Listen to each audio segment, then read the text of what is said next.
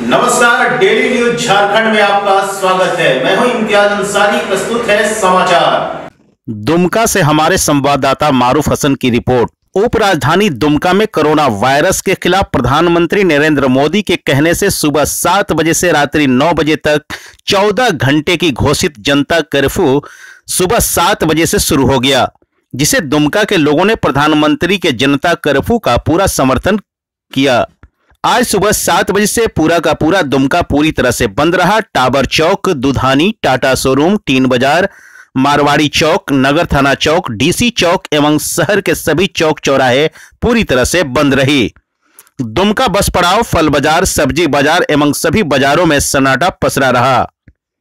धन्यवाद।